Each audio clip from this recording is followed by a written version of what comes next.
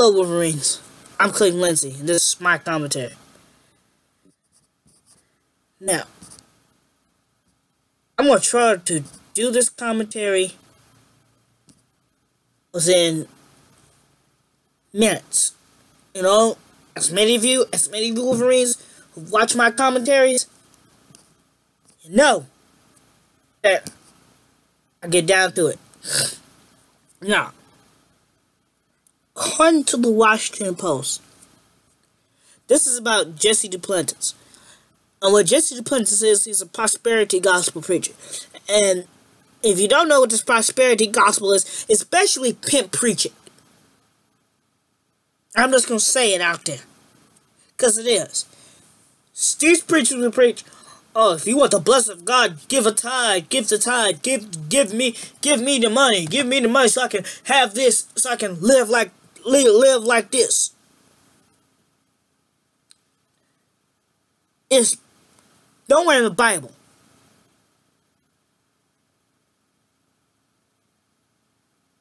Nowhere in the Bible. A televangelist want his followers to pay 50 more, $54 million in a private jet, and this is his fourth plane. And he said something that was crazy.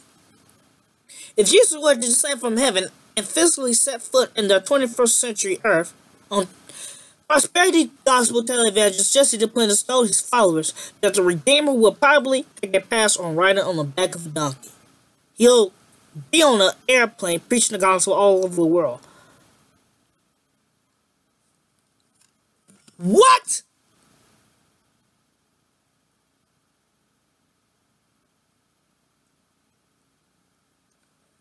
Jesus would not do that. If Jesus were to come on this earth, he would do it just like the Bible would. And if Jesus were to live, if if we were to have Jesus in this present time, I think we will irritate. I think we will make him mad because of all the stuff that's going on. Because so many of the people who claim to follow him are not really following him according to what he says. Not everyone, Matthew chapter 7, not everyone that to me, Lord, Lord, shall enter into, into the kingdom of heaven, but he that doeth the will of my Father. Still, still, that's still going on today. And Duplantis think that the light of the world would exactly, wouldn't exactly settle for 30 inches of legroom or getting patted down by TSA. Well, well,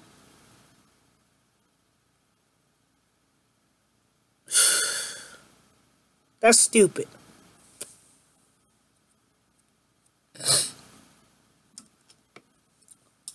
Because Jesus didn't need no airplane when he ascended unto heaven. Jesus didn't need no airplane when he when he was born of a woman, when he was conceived by the power of the Holy Spirit and born of the Virgin Mary.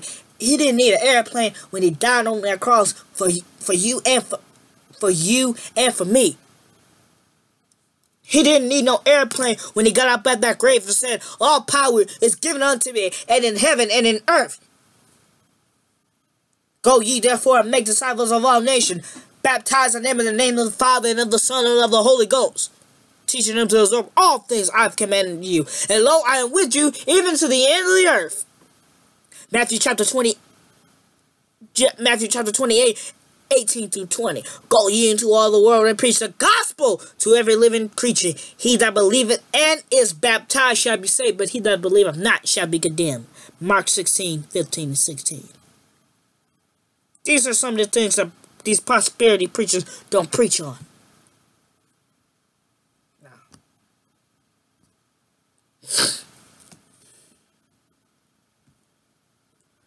We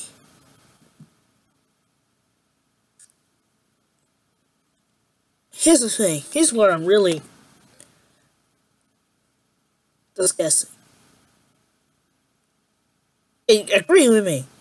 How come they come take this $54 million How come you couldn't take this $54 million and give it to the city of Flint? Because if anybody needs $54 million, it's the city of Flint. Because as of right now, they still don't have no clean water.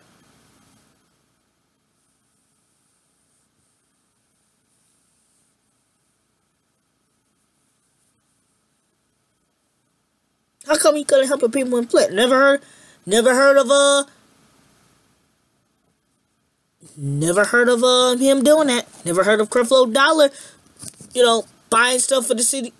Uh, come to Flint, going to Flint, and you know, giving giving out clean water or writing a check.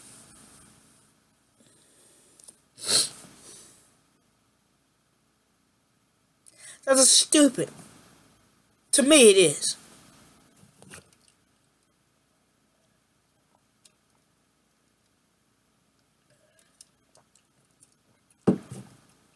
I, I talked to my friends about it. I was like, well, Cleve, you ain't done a commentary on him on him before. Why are you doing it now? One, he's a false prophet. Two, as an evangelist, as a preacher, not only do you have to preach the truth, but you have to refute false doctrine. You have to speak against false doctrine and false preachers. The prosperity gospel is false doctrine. What he's doing, he's doing this for himself, trust me. And he, he was on a discussion with Kenneth Copeland, which is another false prophet. He said, well, if Earl Robinson was the father of all this, Earl Robinson would go to a, a, a go to an airport, he would have many people trying to pray for him and try to pray for them and all that and yada yada yada. Of course if you're a preacher and people find out that you're a preacher, they're going to want you to pray for them. If people found out that I'm a young preacher, excuse me, if people find out that, and I, you ain't got to be big time, a big time preacher, quote unquote. If people find out that you're a preacher, of course, they're going to want you to pray for them. Pray that the plane, pray that everybody on the plane be safe. Of course, they're going to want you to do that. And if they don't really, if, if, if they don't know Christ, that's it's your job to tell them about Jesus. And tell them they need to repent and be baptized in the name of Jesus Christ. Acts 2.38.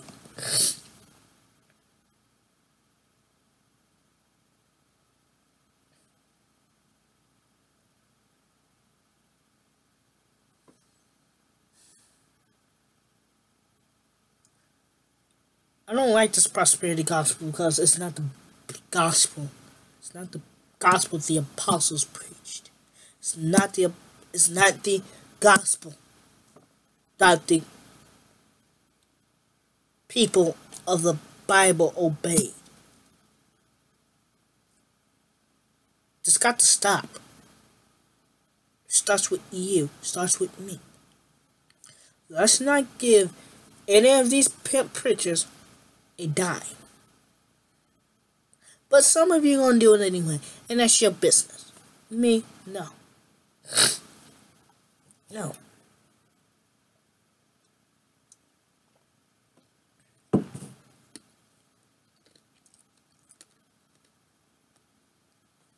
There are people who, but because of the fact that we got people with itching ears, they don't want to hear the truth of the gospel, they're to do it.